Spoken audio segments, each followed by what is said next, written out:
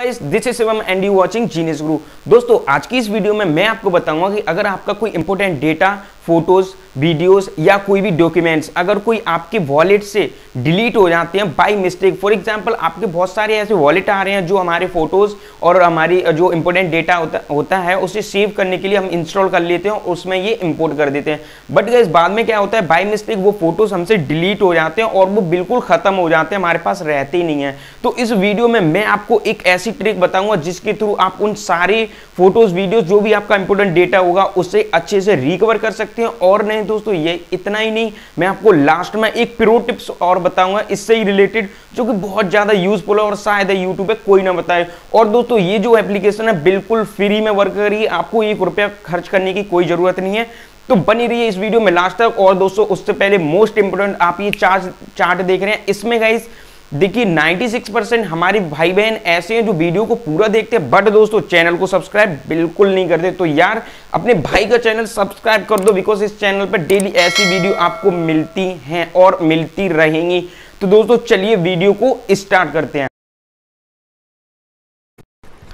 सो so guys आप लोगों ने क्या करना है? सबसे पहले आप अपना क्रोम ब्राउज़र जो है ओपन कर लीजिए या जो भी आप यूज़ करते हो इंटरनेट यूज़ करने के लिए। तो सिंपली मैं क्रोम ब्राउज़र यहाँ पे ओपन कर लेता हूँ। अब आपको गूगल पे सिंपली टाइप करना है गो ठीक है?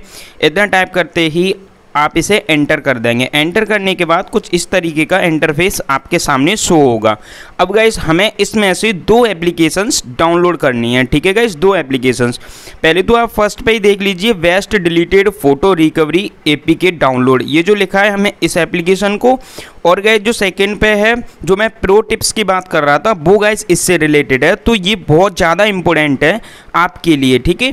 तो सबसे पहले तो मैं इस एप्लीकेशन को इंस्टॉल कर लेता तो आपको इस तरीके का एक आर्टिकल्स खुल के आ जाएगा, ठीक है?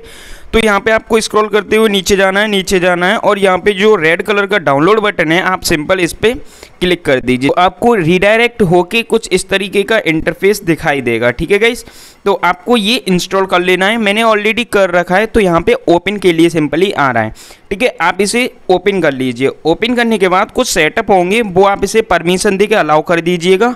अब गाइस यहाँ पे आपको ध्यान से देखना है। देखिए यहाँ पे जो लिखा है स्टार्ट बेसिक फ़ोटो स्कैन ये मेरी लैंग्वेज थोड़ा वैसी है। आई मीन फॉन्ट लैंग्वेज थोड़ा इटैलिक टाइप है बट गाइज़ जो यहाँ पे लिखा है ना स्टार्ट बेसिक फ़ोटो स्कैन आपको सिंपली इस पर क्लिक कर देना है।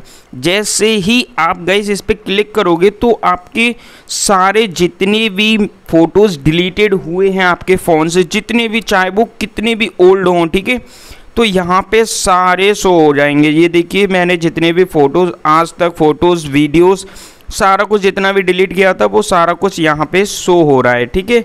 तो एक तो ट्रिक ये हो गई। अब गैस मैं बात कर रहा था प्रो टिप्स की तो वो भी गैस देख लेते हैं। स्कैनिंग कंप्लीट हो गई। जैसे ही स्कैनिंग कंप्लीट हो जाएगी तो आपको फ़ोटो के जो थ्री डॉट पे क्लिक करना है और वहाँ पे आपको करना है सेव दिस फ़ाइल लोकली या record this file save this file पर हमें क्लिक करना है। जैसे ही आप ये क्लिक करोगे तो ये ये लोकेशन मांगेगा कि इस फ़ाइल को आपको कहाँ पे सेव करना है। आप चाहे तो एक नया फोल्डर बना लीजिए रिकवरी फ़ोटोज़ का, वहाँ पे आप सारे फ़ोटोज़ जो है, उसे रिकवर कर सकते हैं, ठीक है? फ़ोन अगर हैंग हो रहा है स्लो हो रहा है, इस एक वीडियो में मैं बहुत सारे टॉपिक कवर करने की कोशिश करूँगा गाइस ठीक है?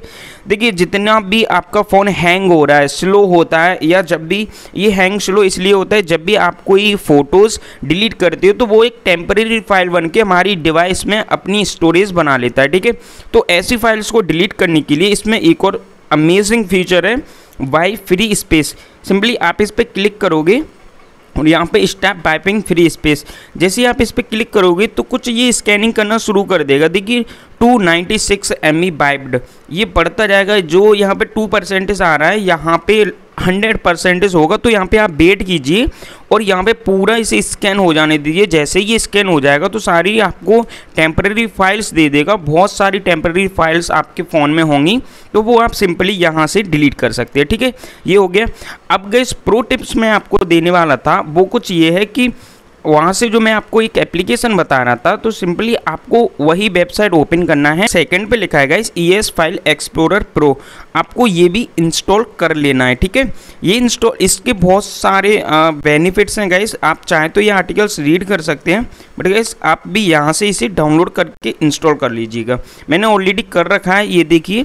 तो मैं सिंपली इस पर टैप करके ओपन कर लेता हूँ। अब गाइस मैं इसका यूज़ बता देता हूँ आपको।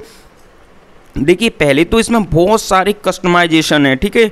बहुत सारे। आप इजीली सब कुछ यहाँ से ट्रैक कर सकते हैं। ये देखिए यहाँ पे रिसाइकिल बिन है ठीक है? इसे आप हमेशा ऑन करके रखें। अब जब भी आप इस फ़ाइल में से कोई भी data I I mean mean, कोई भी फ़ोटोज़ या वीडियोस डिलीट करते हो तो सिंपली वो आपके जो है रिसाइकिल बिन में जाके सेव हो जाएगा। फॉर एग्ज़ाम्पल मैं आपको एक कुछ फोल्डर डिलीट करके दिखा देता हूँ। मैं आपको ये वाला डिलीट करके दिखाता हूँ, ठीक है? ये मैंने सिंपली ओके कर दिया। अब गए जैसे ही हम इस पर क्लिक करेंगे तो ये देखिए, इसमें वो रिसाइकिल बिन स्टोर हो गया, ठीक है? रिसाइकिल बिन में। अब हम यहाँ से अगर डिलीट करते हैं, फिर ये कहीं नहीं जाएगा। यहाँ से हम इसे रिस्टोर भी कर सकते हैं। तो गैस मेरा कहने का मतलब ये है, आप जो भी फ़ाइल डिलीट करें, वो यहाँ से करें। बिकॉज़ ये हमें सेव कर लेता है और बाद में अगर हमें ज़रूरत होती है तो बाद में हमें प्रोवाइड भी करा देता है। अब गई एक और टिप लगे। फॉर एग्ज़ाम्पल आप फ़ोटो ऐप लॉक कोई यूज़ करते हो फ़ोटोज़ हाइड वीडियोज़ हाइड करने के लिए कोई ऐप लोग यूज़ करते हो तो इस मैं आपको रिकमेंड करूँगा कि आप वो ना करें। बिकॉज़ कभी कभी कभी कभार क्या होता है कि किसी बाई मिस्टेक हमारा जो डेटा होता है आई मीन जो इंपॉर्टेंट फ़ोटोज़ पिक्चर होते हैं, वो चले जाते हैं, ठीक है? फॉर एग्ज़ाम्पल आपका कोई इम्पोर्टेंट वीडियो या कोई पिक्चर है तो उसे आपको हाइड करना है। तो आपको सिंपली क्या करना है? इसमें वो पिक्चर ओपन कर लेना है और आपको उस पर टैप करना है और यहाँ पे एक आइकन आएगा रीनेम का। आपको सिंपली वो ओपन कर लेना है। अब यहाँ पे जो इसका फ़ाइल फॉर्मेट है, आप इसे जी की जगह एच कर दीजिए, ठीक है?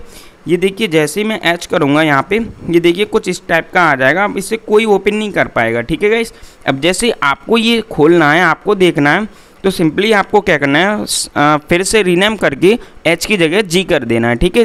For example I mean J P G okay तो सिंपली आपको ओके पे प्रेस कर देना। अब देखिए ये वैसा ही फ़ाइल फॉर्मेट था वैसा ही फिर से आ गया।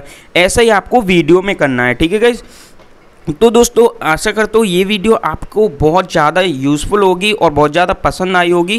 तो दोस्तों ऐसी वीडियो देखने के लिए यार एक बार चैनल को सब्सक्राइब ज़रूर करके जाना। क्योंकि ऐसी tips and tricks, extra pro tips मैं आपको हमेशा देता रहूँगा। दोस्तों, मिलते हैं आपको बहुत जल्दी नेक्स्ट वीडियो में। तब तक के लिए जय हिंद।